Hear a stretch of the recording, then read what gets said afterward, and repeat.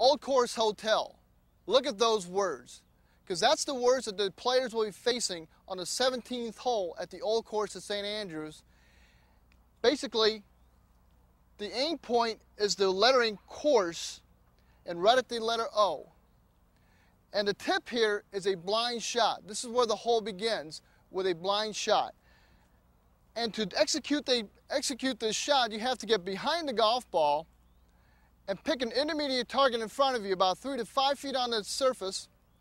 From there, walk into the ball, aim the club face first, square that up to your intermediate target, then take your stance, squaring up to that club face.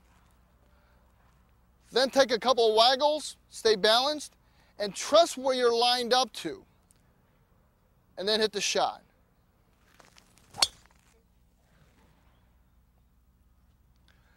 Notice one thing that I didn't do is to look up at my target. I trusted my alignment, I trusted the intermediate target, and now I went ahead and fired.